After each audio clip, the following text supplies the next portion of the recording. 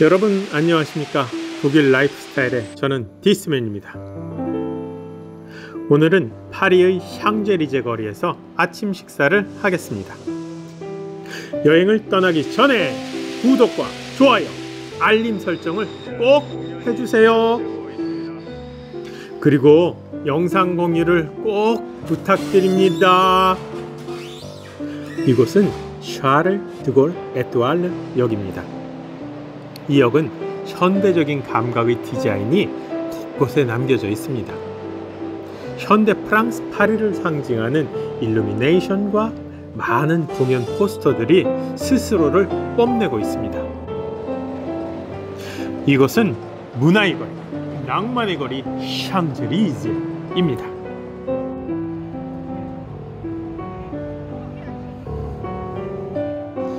에뚜알 개선문이 우리를 환영하고 있습니다.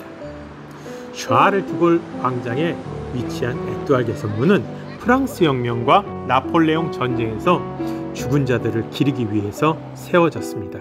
1806년 장 샬그랭에 의해 처음 설계되었습니다. 그리고 1836년 드디어 국민들로부터 애국심을 고취하기 위하여 웅장한 모습으로 완공되었습니다. 에뚜알 개선문은 1919년 세계 제1차 대전 종전 후 벌어진 퍼레이드에서 비행사 찰스 고드프로이가 개선문 아치를 통과하는 멋진 비행으로 화제가 된 일이 있었습니다. 치욕의 역사로는 세계 제2차 대전 당시 히틀러의 전차 부대가 개선문을 통과하는 개선식을 치렀습니다. 이후 무명 용사의 무덤에 대한 예우로 아치를 통과하는 개선식이 사라지게 됩니다.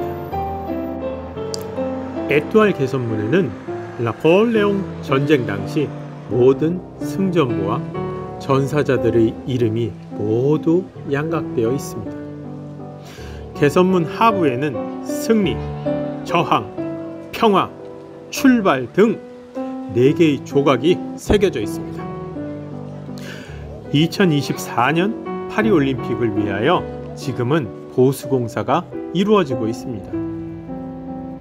샹제리제는 콩코드 광장 보벨리스크에서 샤를 드골 광장의 에뚜알 개선문까지 약 2km의 거리입니다. 고대 그리스인들은 행복한 영혼이 죽은 후에 가는 곳이라고 믿었다고 합니다.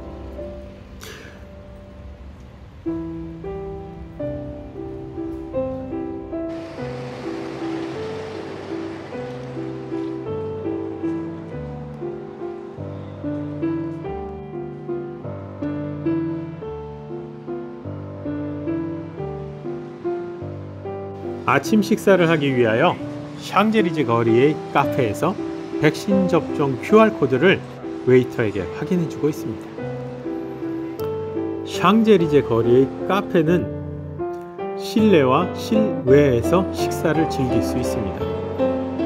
그리고 실외 테이블들은 거의 모두 거리를 지나는 사람들을 관람할 수 있도록 배치되어 있습니다.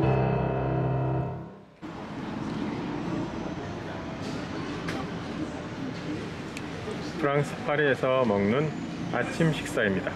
맛있게 먹겠습니다. 아들이 시킨 아침 메뉴입니다. 음료는 오렌지 주스와 따뜻한 코코아 그리고 두 종류의 크로아상이 나왔습니다. 오렌지 주스는 직접 갈아 만든 생과일 주스입니다. 크레마가 되게 맛있는데. 프랑스와 이탈리아의 오렌지 생과일 주스의 맛은 일품입니다. 프랑스 크로아상은 작고 앙증맞게 만들어서 보는 즐거움과 먹는 즐거움을 한꺼번에 느낄 수 있게 합니다. 프랑스의 크로아상은 버터의 풍미를 그대로 느낄 수 있습니다. 그래서인지 정말 맛있습니다. 오늘 오렌지 주스는 크로아상의 단맛은 카페 에스프레소의 맛과 어우러져 입안에서 샤르 녹아내리는 맛입니다. 그래서 저는 너무 빨리 먹어버렸어요. 어, 프랑스나 그리고 오렌지 주스로 입안에 오렌지 즐거움을. 남겼습니다.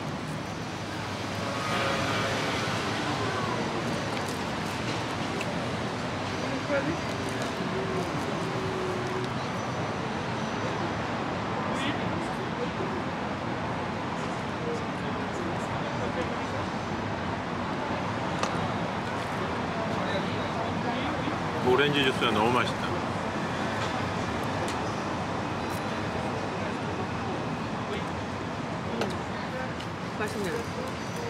톡톡 터지는 오렌지 알갱이는 싱그러운 맛을 입안 가득 남깁니다. 프랑스와 이탈리아의 아침 식사는 크로아상이나 너너츠를 카푸치노와 함께 가볍게 즐깁니다. 독일 크로아상이 무거운 맛이라면 프랑스의 크로아상은 고급 버터의 향과 설탕의 조화로운 맛입니다. 본 메뉴가 나왔습니다. 혼합 곡물 토스트 위에 egg scramble이 올려져 있고 그 옆을 장식하는 베이컨은 영양의 조화를 이룹니다.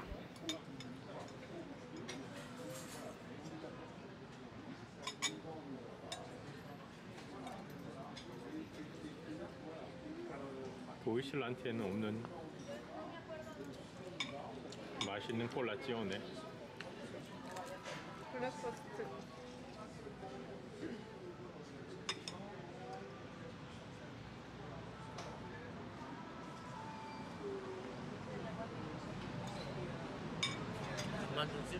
이제는 마무리로 fruits? 칵테일이 제공되었습니다.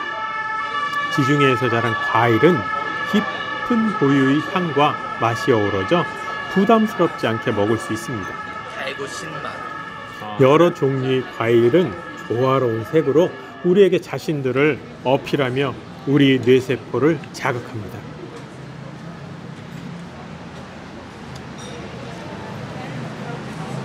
확실히 그 질이 틀린 것 같아.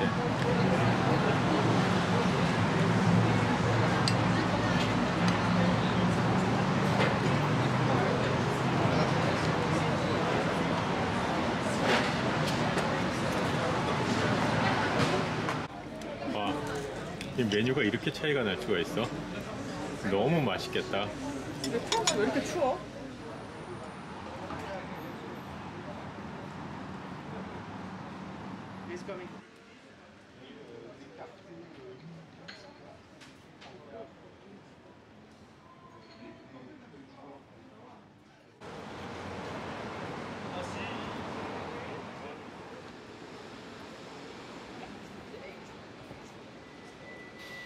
샹제리제 거리에는 우리에게 많이 알려진 고급 상표와 알려지지 않은 아주 고가의 상표들이 거리에 많이 있습니다.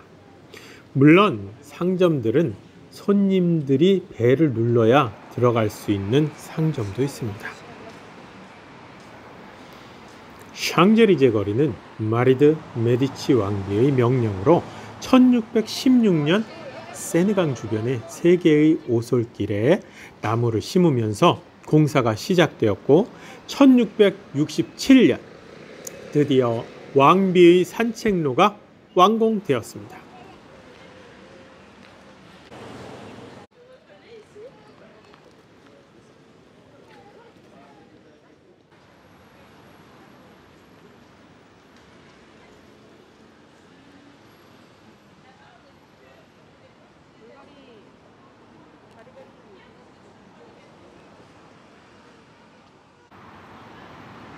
지금은 길이 확장되어 2km를 낭만으로 채우고 있습니다. 그 유명한 오 샹제리제라는 샹송의 노랫말이 너무 잘 어울리는 사랑과 낭만의 거리입니다. 오 샹제리제 오 샹제리제 알지 못하는 그이에게 말을 걸었어요. 그러나 그는 대꾸하지 않았어요. 그래도 나는 계속 그에게 말을 걸었답니다. 낭만과 사랑 모든 것이 살아 숨쉬는 거리 샹제리제 거리입니다.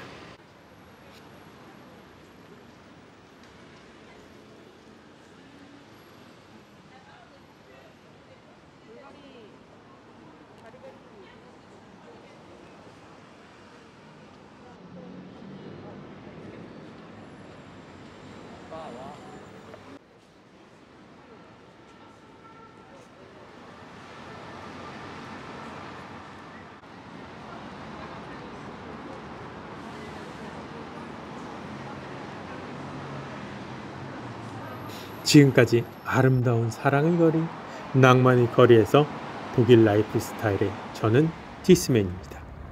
시청해주신 여러분, 감사합니다. 다음 편을 꼭 기대해 주세요. 아름다운 한 편이 또 남아 있습니다.